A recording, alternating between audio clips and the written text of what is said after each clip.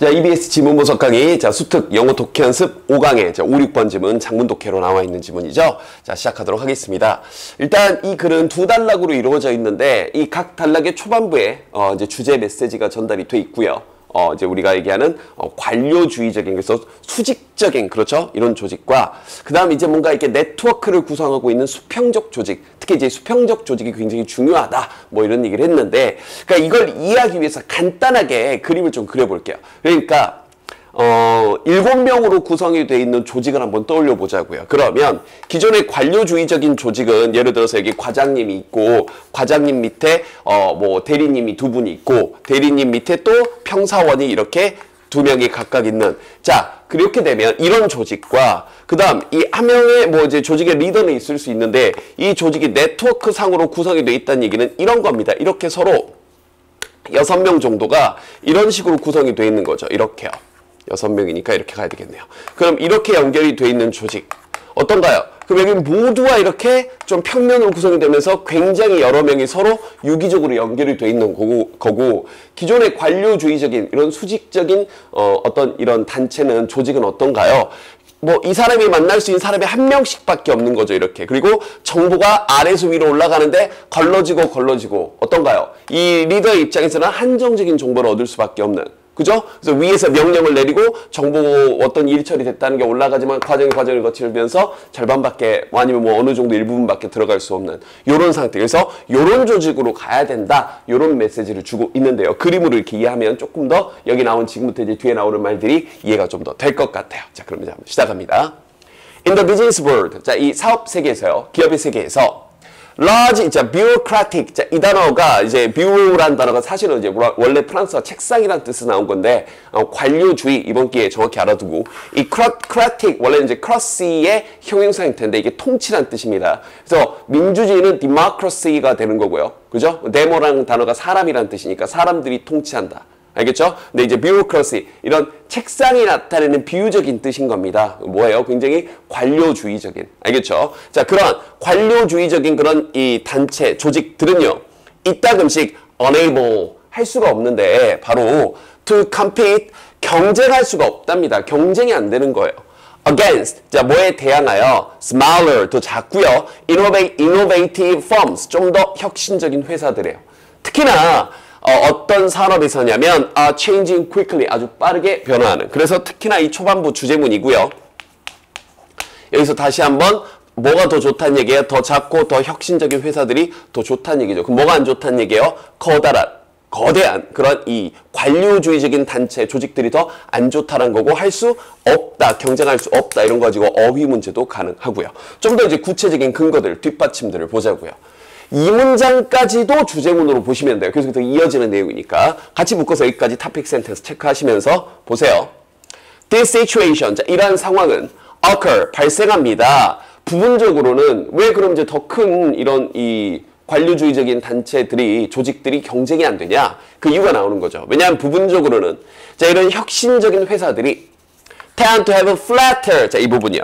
좀 더 자 flatter 이 사, 수직적인 게 아니라 좀 더 수평적인, 더 납작한, 그죠? 평면적인, 그리고 좀 더 민주적인 그런 조직의 구조를 가지고 있기 때문입니다. 아까 봤었잖아요. 위에서 아래로 쭉 내려온 게 아니라 모두가 연결이 돼 있는 네트워크적인 구성을 따르고 있는 걸 좀 더 평평하다, 플랫하다, 그리고 좀 더 민주적이다 라고 표현을 해준 겁니다. 알겠죠? 자, 뒷받침 계속 가봅시다. compare, 비교를 한번 해보세요 하면서 여기는 이 compare 구조를 이해하고 있어야 눈에 좀 들어오죠? Compare A with B고요. 나올 때마다 얘기하지만 이것도 뭐 지금 2교재 상에서는 처음 얘기해 주니까 한 번 더 해줄게요. compare A with도 괜찮고요. to도 괜찮습니다. 둘 다 알아두시고 그 다음에 이 compare의 뜻도 두 가지 정확하게 알아두세요. 하나는 여러분 다 잘 알고 있는 비교하다 맞습니다. A와 B를 비교하다 맞아요. 근데 또 하나 무슨 뜻이 있냐면 비유하다 A를 B에 비유하다도 됩니다. 이 두 가지가 다 그동안 기출 모의고사 여러 번 나왔으니까 둘 다 정확하게 기억하세요. 여기서는 물론 비교하랍니다. 그럼 다시 이, 이 1차원적인 자 평평한 그러한 이런 네트워크의 1차원이 아니죠. 어, 그러니까 뭔가 이게 이 평면적이라고 해야 되겠죠. 그런 네트워크 구조 어디 내에서 자 여기서부터 여기 또 A에 대한 수식어가 이렇게 달려 있는 거예요 각각 아 더 작고 혁신적인 회사 내에서 이런 네트워크적인 구조와 뭘 비교를 하냐면 기존의 전통적인 그러한 bureaucratic 관료주의적인 구조를 비교해 보세요. 좀 더 큰 관료주의적인 어떤 단체에서 조직에서요. 뭐 안 좋다는 얘기죠. 전자가 더 낫다는 얘기죠. 자 note 주목하세요. 자 계속 명령문이래. 뭐뭐 하세요? 이러면서. 자, 뭘 주목하냐면 이런 부분들 이제 빈칸 내기 좋죠. 보세요. 네트워크 구조가 이런 것들 더 계층이 아까 그림 보여준 거 떠올려 보세요. 계층이 더 적다. 자, 뭐보다 자, 전통적인 그런 관료주의적인 구조보다 아까 전통적인 관료주의적인 구조 다시 한번 간단히 그려드리면 레벨이 1, 2, 3 하면서 어땠어요? 적어도 수준이 하나, 둘, 세 개의 계층이 존재했던 거잖아요. 맞죠? 그런데 아까 네트워크적인 구성은 어땠나요? 그냥 하나의 뭐 이제 리더는 있어야 되니까 근데 하나의 그런 단계로만 구성이 되어 있는 거니까 알겠죠? 이걸 이게 더 적은 레벨, 단계, 계층으로 구성이 되어 있다라고 표현을 해준 겁니다. 이런 것들 빈칸 내기 딱 좋죠. 계속 갑니다. Moreover, 게다가 in the network structure, structure 이러한 네트워크적인 구조에서는요. 이런 게 살짝 까다로웠죠, 여러분들? 이런 거. 자, 이런 부분은 어휘 빈칸 다 가능하면서 보세요. Lines of communication이 주어고요. 있는 링크가 동사 역할을 하고 있었던 겁니다. 이렇게 여기가 이제 정확히 얘기하면 여기가 주어죠. 자, 의사소통의 그런 라인이 그죠? link all unit 모든 그런 개체들을 유닛들을 링크 연결해 줍니다. 아까 봤잖아요. 모두가 연결이 돼 있잖아요.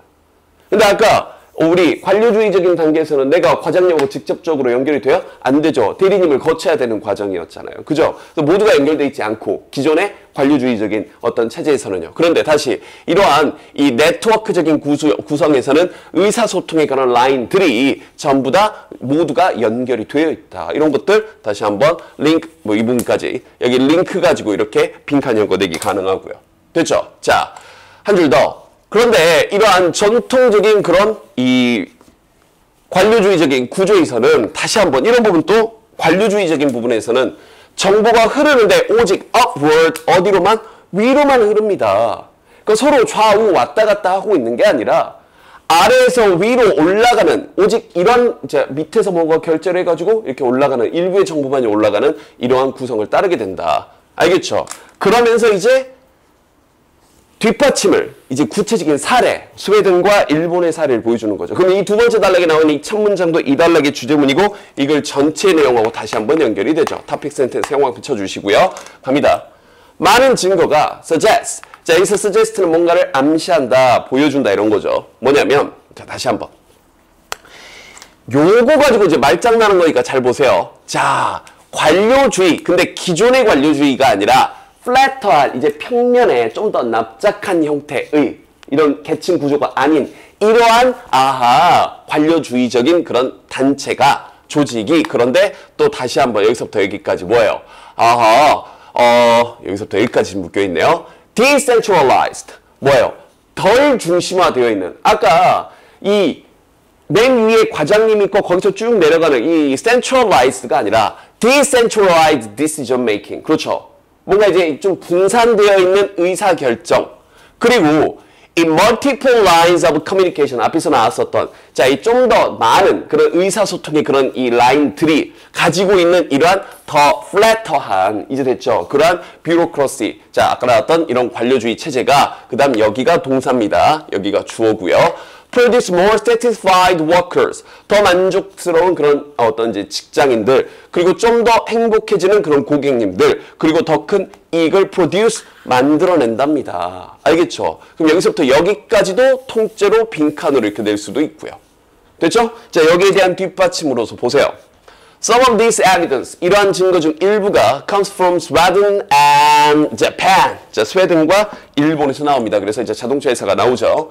자, 1970년도 초에 시작해서 이제 볼보가 이 스웨덴에 있는 자동차 브랜드입니다. 볼보와 도요타가 were 어디에 있었냐면 at the forefront 최전방에 있었답니다. 이런 관료주의적인 혁신에요. 이러한 국가들에서 일본 내에서 그리고 어, 이 스웨덴 내에서 관료주의적인 혁신의 최전방에 있었대요. 그래서 좀 혁신을 했나 봐요. 보자고요. They began 그들은 시작을 했는데 이거 가지고 실제로 저 어휘문제가 나왔었죠. 제거하기 시작했습니다. 중간 관리자의 그런 포지션, 위치들을 아까 우리가 계층 단계로 돼 있었던 거 이 중간 관리자 없애버렸대요. 오호, 계속 갑시다. They allowed. 자, 그들은 허락을 했는데 하면서 여기 문장 구조는 이렇게 되어 있죠. 문장 구조가 살짝 어려웠을 수도 있어요. 1번을 허락을 했고 그리고 2번을 위임했습니다. 그들이 이렇게 병렬되어 있습니다. 첫 번째, 더 많은 자, 이런 부분 빈칸 낼 수 있죠. Worker participation 이렇게요. 이, 이 근로자들의 참여를 허락했습니다. in a variety of tasks. 다양한 어떤 업무들에서. 근데 그 업무가 어떤 업무냐면 related to their main functions. 그, 그 회사들의 주요한 어떤 이, 이 어떤 이 작용들, 회사의 어떤 중요한 기능들과 관련된 그런 업무들에 있어서 어허, 이, 이 근로자들의 참여를 허용을 했대요. 자, 그리고요. 또 이 회사들이 delegated, 자, 위임을 했는데, 다 남기하셔야 되고요. authority, 어떠어떤 권위를요. 어떤 권한을. 누구에게? to autonomous teams of dozen or so workers. 음흠. 이 자율팀, 뭐 한 수십 명, 한, 한 10여 명 정도, 혹은 그 정도 되는 그런 근로자들로 되어 있는 자율적인 팀에 권한을 부여를 했습니다. 됐나요? 근데 그들이 어떤 근로자들이냐면, 자, 그 다음 여기 문법 조심하시고요. 그들이 허락을 받은 거죠. 한 게 아니라. 허락을 받은, 자, 투부정사하도록, 뭐, 많은 의사결정을 스스로, 아, 이게 포인트죠. 스스로 의사결정을 하게 만드는 위에서 명령이 내려와야 하는 게 아니라, 알겠죠? 이러한 직장인들로, 좀 근로자들로 채웠대요. 그랬더니 결과가 어떤 일이 일어나겠어요? They form, 그들은 형성을 했는데, quality circles, 오호. 자, 이, 이 품질 어떤 이 사이클, 서클이라는 걸 형성을 해서 이 근로자들의 그래서 모니터를 하고 알아서 감시를 하고 감독을 하고 correct defect 결함들을 스스로 찾아냈고 좀 더 정적을 했대요. in product 제품과 그 서비스에 있어서 알아서 그렇게 하겠다는 거죠. 좀 더 나은 그런 제품을 만들기 위해서요. 알겠죠? 이 중간 관리자 없애고 했더니 그들에게 권한을 주고 했더니요. 결과적으로 어, product quality 제품의 어떤 품질과 worker morale 자 단어 조심하시고 이게 사기입니다. 이건 언제나 혼동어휘로 잘 나오는 게 moral 이건 도덕이고요. 뭐 motor 그럼 이건 치명적인이고요. moral 그럼 이건 사기고요. 하는 알겠죠? 자, 이 직장인의 사기 그리고 이러한 이 생산 어떤 이익 그죠? 이것이 이런 것들 improved 어휘 문제 나왔었죠? 향상되었습니다. 그렇죠. 그럼 이런 사례를 바탕으로 최종 결론 갑니다. These ideas, 자 이러한 생각들이요, have spread well beyond uh, Swedish and Japanese automobile industries. 그래서 스웨덴과 일본 자동차 회사를 well beyond 전부 다 넘어서서 쫙 퍼졌습니다. 그리고 이러한 생각들은 하면서 이렇게 병렬이 되죠. 아, evident, 분명한데요. 많은 이 거대한 큰 그런 북아메리카, 이제 미국하고 캐나다를 얘기하죠. 이런 회사들에서도 분명합니다. 특히 어디에서 자 어떤 생산 분야라 서비스 분야 섹터 이런 분야들 전부에서도 알겠죠. 그래서 얘기했던 어, 이런 bureaucracy 기존의 어떤 관료주의적인 것들을 최대한 flatter 평면적으로 만들면서 네트워크가 형성되도록 하게 하는 알겠죠? 요게 훨씬 더 이득이 된다는 이야기를 두 단락에 걸쳐서 보여줬고요. 지문이 길었다 뿐 막 어렵거나 그러진 않습니다. 여러분들이 두 번, 세 번 반복하시면 돼요. 길다고 쫄지 마시고요. 됐죠?